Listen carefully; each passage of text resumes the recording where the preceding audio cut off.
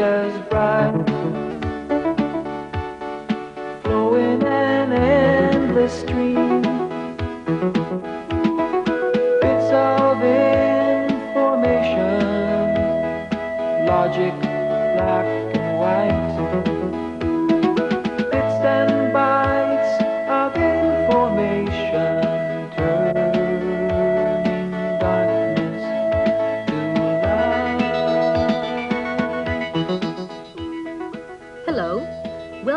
Bits and Bytes.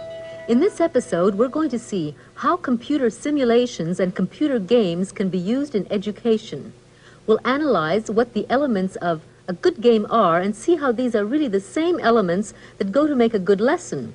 We'll also explore the meanings of the word analog and digital and what that mysterious phrase booting DOS means. We'll start by looking at some simulations. Well, I know what a game is, but what's simulation? The most familiar example is a flight simulator, a mock up of a real airplane that trainee pilots practice on before they're let loose on the real thing. It's a model of a real life situation. Well, can you put a simulation like that on a microcomputer? No, but you can get a very simplified simulation of landing a 747, for example. There's one for the Atari on the table. Oh, yes, here we are. 747 landing simulator. That looks interesting. Or would you rather fly a helicopter? Ah, now you're talking. Well, then check the disc on the Apple. Okay. Ah, here we are. Choplifter. You'll need game paddles for this program. Paddles. That sounds a little primitive. Using paddles to fly a helicopter?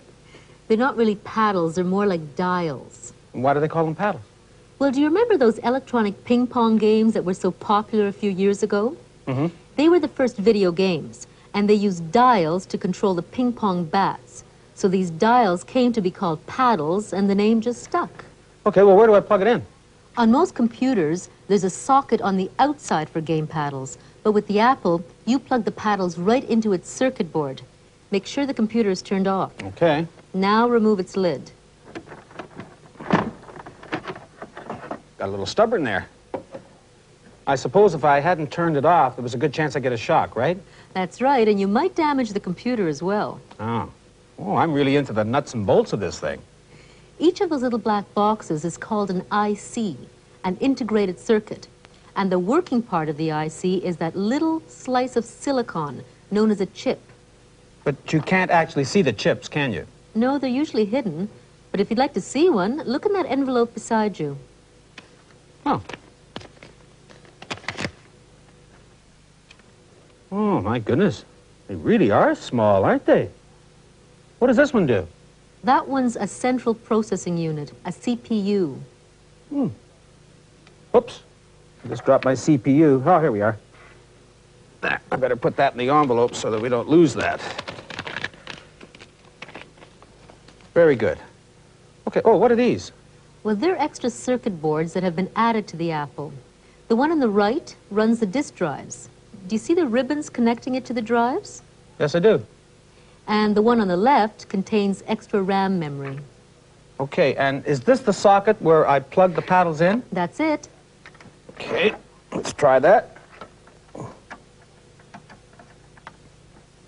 You know, this makes me feel like a real computer expert. Okay, now put the lid back. There we are. Turn it on. Now, here we go. My first sortie. One of those paddles makes the helicopter go up and down. And the button on the side turns it around. And the other paddle makes it fly forward and backward. Oh, I see. Okay. Now, turn him around a little bit. There we go. Whoa. Oh, this is tricky, isn't it?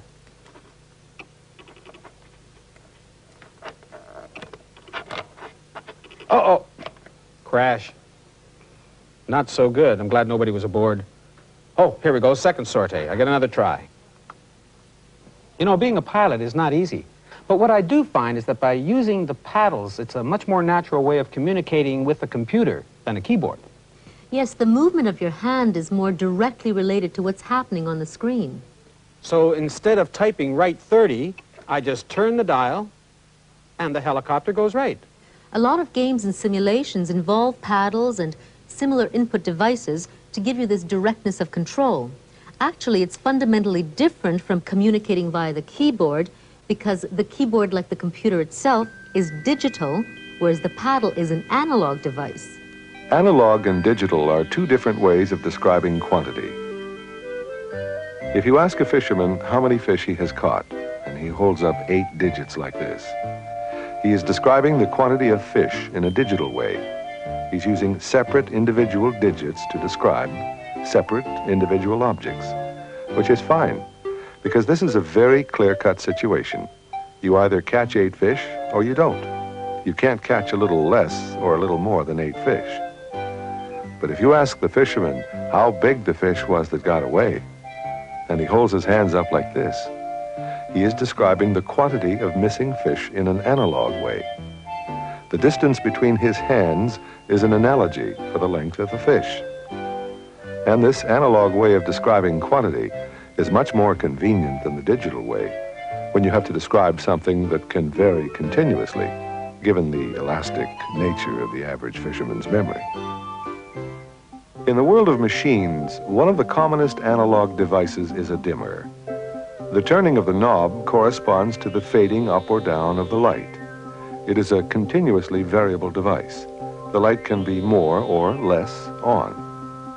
Contrast this with a light switch, which is the simplest digital device of all. The light is either on or off. Which brings us to that collection of on-off switches which is called a computer. Obviously itself a digital device, since it has to deal with everything in terms of binary digits. The computer's keyboard is also digital. There are lots of separate individual keys, and you either press one or you don't. But this can be awkward when you have to describe something which varies continuously, such as the movement of a little rocket ship on the screen, because you have to fragment this movement into separate units. Forward 30, right 90, forward 30, and so on. So here is where it's much better to use the analog way of representing continuous movement by means of game paddles, which relate directly to what is happening on the screen. The more you turn the paddle, the more the rocket ship turns. But there's room for both ways, of course, both analog and digital. If you want to represent reality in a smooth, continuous fashion, go analog. If you want to represent reality one little piece at a time, go digital. But how does this analog information get turned into digital information for the computer? By means of an analog digital converter. There's one already built into the Apple. Ah, I see. Well, the Choplifter program is fun, but do you have any really educational simulations? Simulations are perhaps the most educational use that you can make of computers because they all involve problem solving. You can divide simulations into three main types. Using machines, making decisions, or working through a process. So the Choplifter program falls into the first type, using a machine. Are there any other examples of this type of simulation? Yes, there's a program that simulates an automatic banking machine on the PET computer. Oh, this is exactly like the machine at my bank.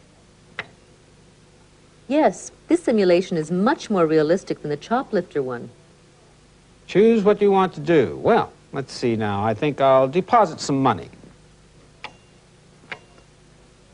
Enter the amount in dollars and cents, so, well, let's say $1,000.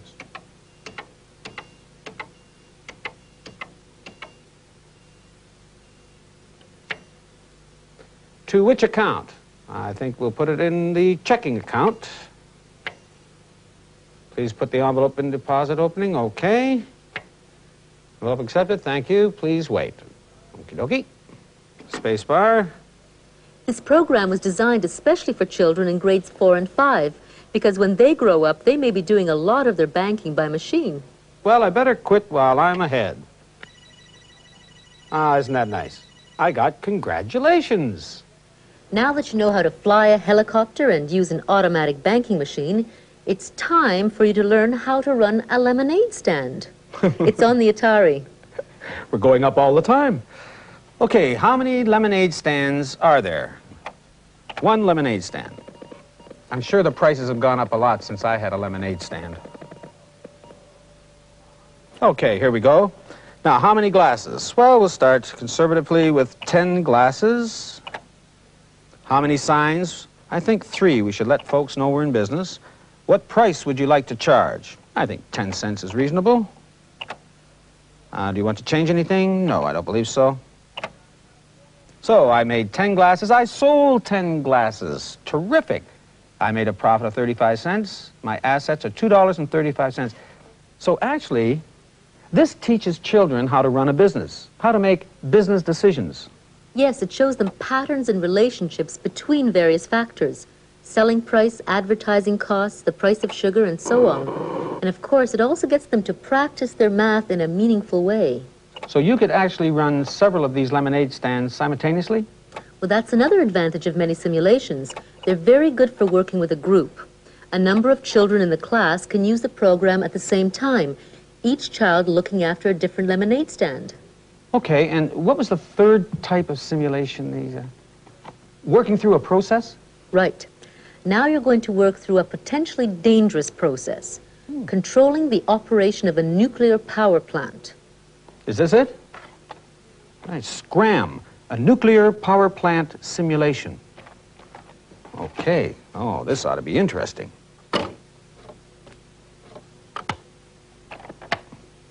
Okay, now.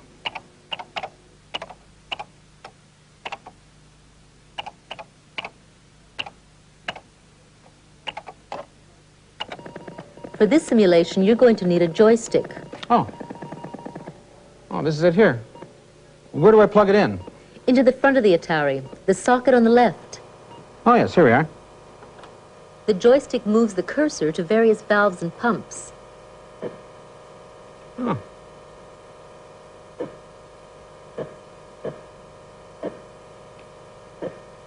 By holding the orange button down and moving the joystick up or down, you can open or close the valves and pumps. This is a very good simulation, but it's also very complicated. Man, we have trouble already. Okay.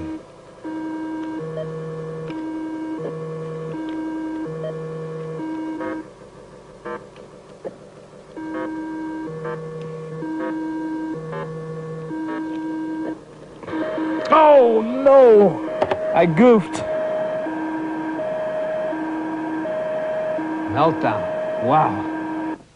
Well, I can see it's safer to practice on a simulation than the real thing.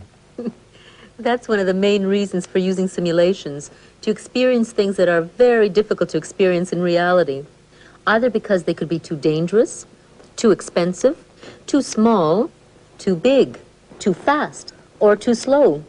And all of these have, in fact, been simulated on the computer. But now let's go to an actual classroom to see how simulations can fit into a geography lesson.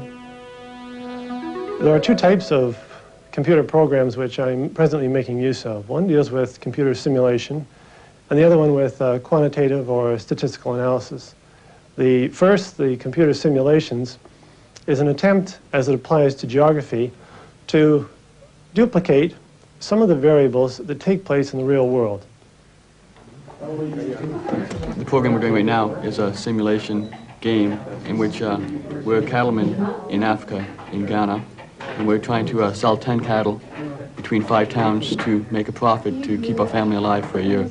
You have to decide where to sell your 10 cattle, and you have to make $100 a year, and it gives you a list of the prices according to the precipitation. So you've got to predict whether to sell them in a dry area or a wet area. And the computer tells you how you've done afterwards. And most of the time, you don't make it. You don't. You starve. Your cattle die of disease, or you starve, which isn't good. So here we have a situation which is as close to real life as possible using some selected variables and trying to duplicate and show the problems experienced by cattle ranchers as they herd their cattle to market. It's an ideal tool in terms of letting the students have this additional experience regardless of the textbook. Here's some facts, what do they mean? Change the variables around, what do they tell you? Now it poses all kinds of questions for them and gives them answers that are unexpected. But that's part of the game. That's part of the experience of the computer. It's exciting for the students and me. $25. We couldn't do this out of a textbook because um, the computer changes things every year. It seems more like you're there because everything happens so quickly that you don't have to worry about reading and just easier access to the information. Reading about the problems is simply reading. Understanding the relationships between the problems that the farmer faces, the risks that he takes, can be presented by the computer and the students can actually work with it. Without the computer, I could not give the students the opportunity to do this, to find out for themselves. They would simply have to read some secondhand account and it has, for that reason, less impact. Who made money? How many groups made money? it's a risky business. What was the problem in your group? When you made predictions based on rainfall, It changed. the rainfall wasn't predictable. Was that it? Yeah. Any other simulations give the student a chance to work with the processes, the parameters they can identify. In many instances, it's a field trip. It's getting them out of the classroom. They're in the classroom, they're stuck by a box, but they're doing something that they could not do in the classroom without the computer. Hmm. Well, I can certainly see there's a place in education for simulations, but games, Eh, I'm not so sure. Can you show me some examples of educational games? We'll be going to that in a moment.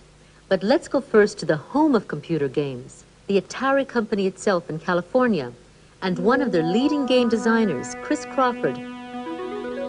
Eastern Front is a war game, and with any game, really, it's very hard to separate the educational from the recreational. And indeed, Eastern Front makes some very important points about the nature of war that have a great deal of educational significance to just about anybody involved in the body politic. As a war game, you are the German invading Russia. And you'll find the temptation in this war game is to frontally attack the Russians, to bash them with your big, powerful tank units. And so you charge and blow up those Russians and so forth. And if you do that, you will fail for sure. The way you win in Eastern Front is that you don't use superior firepower. You don't use numbers. You use mobility, maneuverability, and above all, you attempt to break the Army's will rather than kill the soldiers. And you learn that lesson in this game. You learn that having more tanks or better tanks or bigger guns really doesn't make much difference. And I hope people who play the game and try hard to win will learn that lesson, and I think it'll make them better citizens. A game represents reality. But it represents reality in a very different way than most people think. We have games and we have simulations. Now, the difference between the two is that a simulation emphasizes the detail of the real world, and a game deliberately suppresses detail in order to accentuate some broader issue. It's rather like the difference between a blueprint and a painting. So a game is really a way of teaching people about the real world. It is also fun because we enjoy learning. Learning is intrinsically a lot of fun. If an educational process is not fun, then that's probably because the educational process has missed something somewhere. The nice thing about the computer is you can experiment, you can make mistakes, and you can say, oh, rats, oh well, and press the start button, and you start all over, no harm done. If you want to, you can do this all alone so nobody will know how stupid you are. And you can experiment and learn a lot more freely. That's one of the real advantages of this technology for educational purposes. It reacts to people. A book lays there like a dead fish. The nice thing about the computer is the student can say, what if I do this? And the computer immediately responds. And so the student is encouraged to, to participate, to be mentally and intellectually involved in what's going on here. Yes, these are games, but they are certainly educational. But you know, he didn't talk about Space Invaders or Pac-Man or Donkey Kong. What did they teach you? Hand-eye coordination plus some strategy development. That's about it. But even a shoot-'em-up game has elements that can be put to educational use. Look at Spotlight on the Apple. It was produced by the Sesame Street organization. Here you must hit the little man with a beam of light. You use the paddle to tilt the mirror and the button to turn the spotlight on. Ah, missed him. If you succeed, you get a little reward. Oh. He's elusive. But I got him. Isn't he terrific?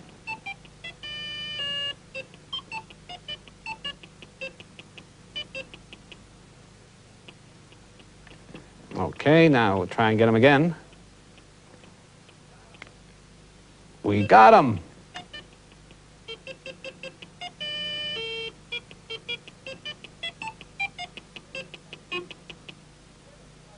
So instead of firing missiles, I'm firing light and learning the angles at which light is reflected.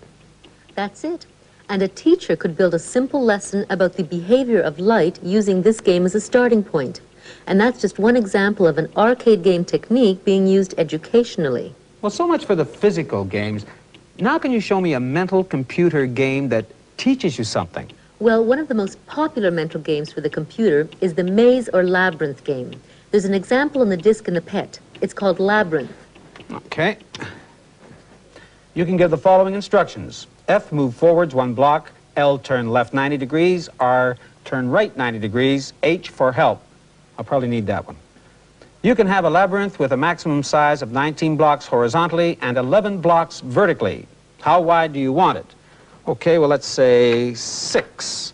How deep? We'll try six again. You've got 12 seconds to look at it. Oh, oh. Okay. Now we have to enter there and I turn right, straight up. Oh, that's going to be a tough one. Okay.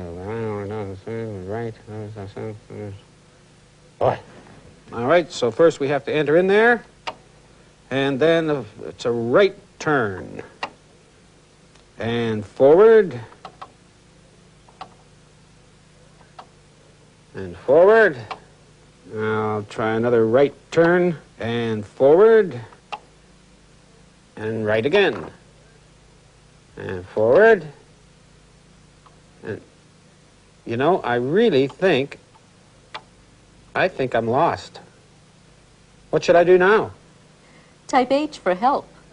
Okay, I figured I'd need that. Oh, I see. It takes you from a worm's eye view to a bird's eye view. Teachers find these maze games very useful for developing a child's spatial awareness. You can switch from seeing the maze horizontally to seeing it vertically. Two different sorts of spatial perception. Well, I must say, computer games are fascinating. And you know, they're really fun. Yes, and a lot of educational research has been done recently into the magic ingredients that make computer games such fun to play. And of course, they're the same ingredients that make things fun to learn. Challenge. Continually adjusting the level of difficulty to keep up your interest. Fantasy. The creation of special micro worlds in which you can play an imaginary role. And curiosity. The element of surprise and novelty so that you're never quite sure what you're going to discover next. Challenge, fantasy, curiosity, and those are the exact areas where the computer is so strong. You know, I can see where there's a lot of potential for computer games and simulation. But tell me, are there any guidelines for teachers and parents in order for them to sort out the games that actually teach you something from games that, well, are just games? Well, most school boards now put out a list of recommended educational software. And then, of course, there are a number of magazines that specialize in computers and education. And most of them have regular reviews of learning programs for the computer, including games and simulations. Here's a review of an educational game. Dueling Digits. Educational value 5 on a scale of 1 to 5. DOS required. Now, what is that DOS? I keep hearing people talking about booting DOS. What does that really mean? DOS is something we haven't dealt with yet, but it's about time we did. When you put a disk into a disk drive, you're taking a lot of things for granted. You're assuming that the computer will tell the disk drive to load the catalog of programs on that disk into the computer's random access memory. And that when you type load program X, the computer will tell the disk drive to search through the sectors of the disk until it finds that particular program and then load it. You're also assuming that the computer will know where on the disk to save programs. or store data, and so on and so forth. But how does the computer know all this? The answer is it doesn't. The average small computer hasn't the faintest idea how to operate a disk. What it needs is a disk operating system, commonly known as DOS. Now, DOS could be built into the ROM memory of the computer, but to save memory space, it isn't. It usually comes on the disk itself. But how does the computer know how to load the DOS from the disk into its RAM memory? Again, it doesn't. Because the program to do this is also on the disk itself. So how does the poor old computer ever get off the ground in this business of disk operating? Well, luckily, there is one tiny little startup program in the computer's ROM memory, which contains just enough instructions to load the program on the disk that can load the DOS on the disk that can tell the computer how to operate the disk. Because this little startup program enables the computer to get off the ground, to lift itself up by its own bootstraps in a sense, it is called a bootstrap program. That is why when a computer loads DOS into its RAM memory, we say that it is bootstrapping DOS, or simply booting DOS. I see. So when I boot DOS, I'm getting the computer to load DOS into itself so that DOS can start loading from the disk. That's it exactly. Okay, well, do all the disks I've been using have DOS on them? Yes, most of them do.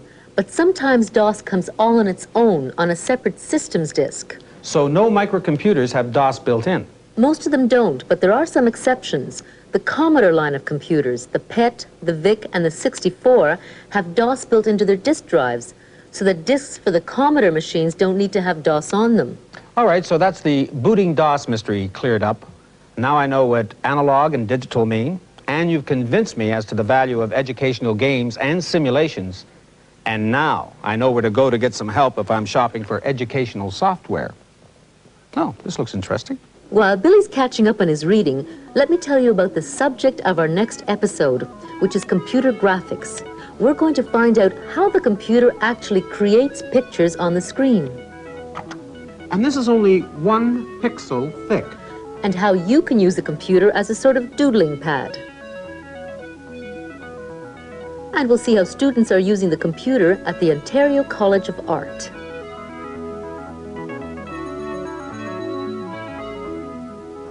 Until then, I'm Luba Goy for Bits and Bytes. Oh, and I'm Billy Van. See you soon. I didn't know any of this.